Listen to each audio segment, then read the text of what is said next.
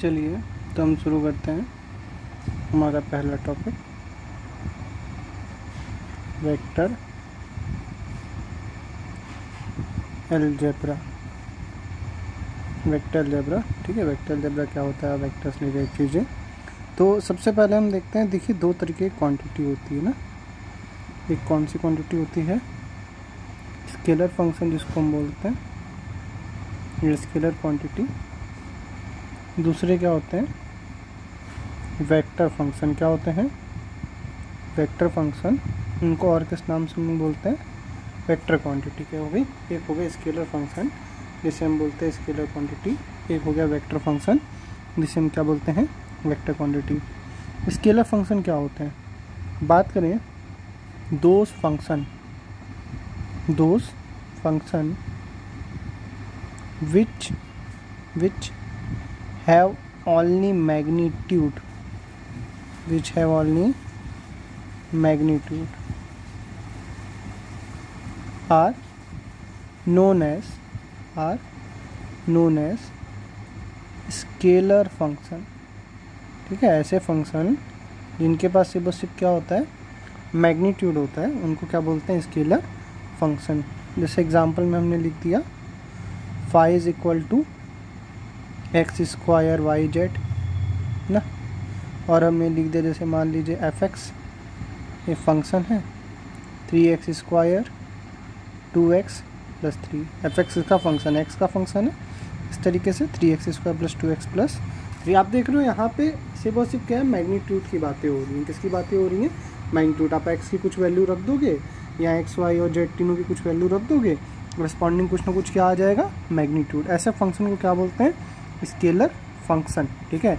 और scalar function corresponding जो आपकी क्वांटिटी होती है, उसे बोलते हैं स्केलर क्वांटिटी अगर बात करें स्केलर क्वांटिटी किसकी बात करें?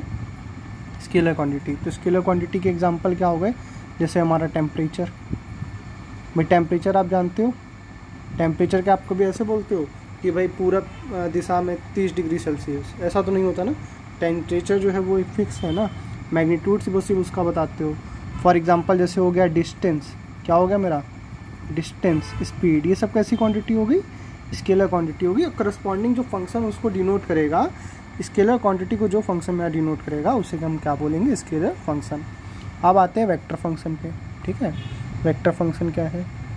तो those function those function which have those function which have which have magnitude which have magnitude as well as direction those functions which have magnitude as well as direction are known are known as vector function उन्हें क्या बोलते हैं vector function ऐसे function जिसके अंदर magnitude भी हो और साथ ही साथ क्या हो डायरेक्शन भी हो उन्हें हम क्या बोलेंगे?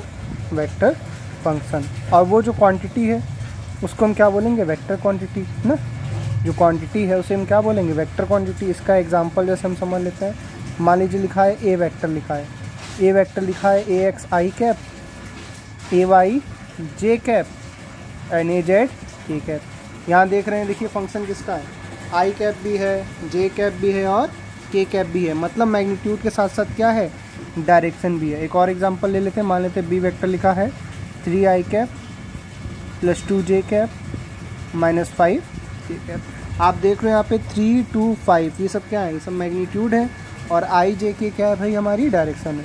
तो इसके अंदर क्या है? मैग्नीट्यूड भी है संग में क्या है? डायरेक्शन भी है। तो ऐसी क्वांटिटी क्या हो गई मेरी? वेक्टर क्वांटिटी और ये जो फ़ंक्शन है, जो वेक्टर क्वांटिटी को रिप्रेजेंट कर रहा है, उसको हम क्या बोलेंगे? वेक्टर फ़ंक्शन अगर बात करें क्वांटिटीज़ की, बात करें वेक्टर क्वांटिटी की वेक्टर क्वांटिटी की तो कौन कौन सी वेक्टर क्वांटिटी आ जाएगी?